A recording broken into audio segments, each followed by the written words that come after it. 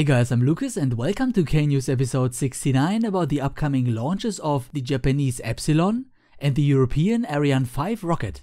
Ariane has a 30 meter high core stage and mounted on the side are two slightly higher solid rocket motors. On top of that is the upper stage and the payload, which consists out of the two satellites JCSat-15 and Star 1 D1.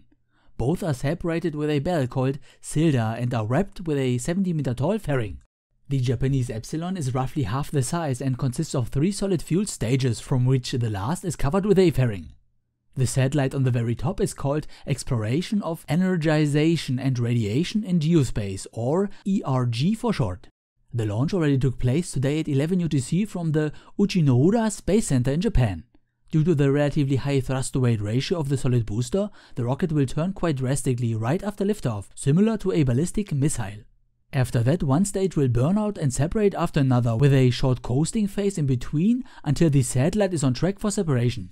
Unlike most other satellites, ERG will be placed and stay in a highly elliptical orbit of 300 by 33,000 kilometers.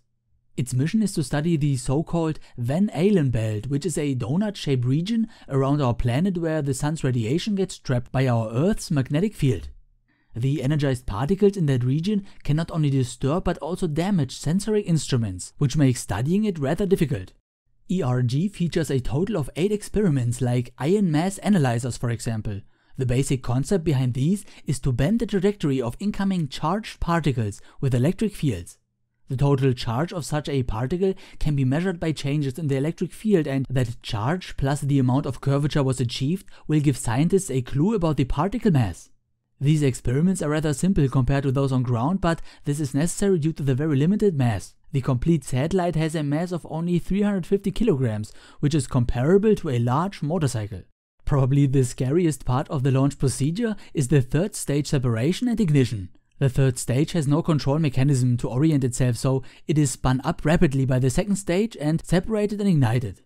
It tumbled around quite a lot but managed to keep pointing in roughly the right direction, with only minor deviations from the planned flight path.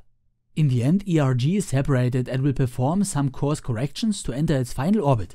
Ariane 5's launch is scheduled for tomorrow December 21st at 2030 UTC and will as always take place at the Guiana Space Center in Kourou.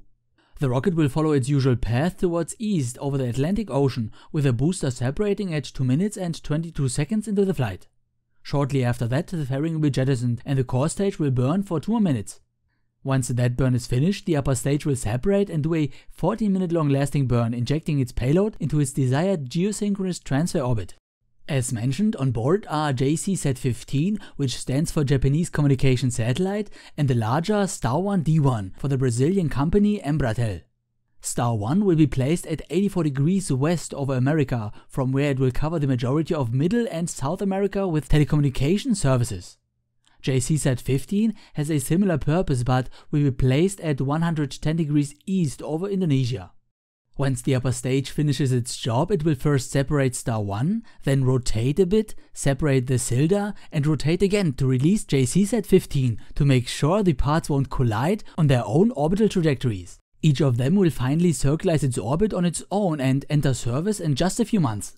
Now in the end a quick shout out to my patrons who support my monthly crowdfunding campaign. Thanks a lot and if you want to contribute as well simply follow the link in the description or at the very end of this video.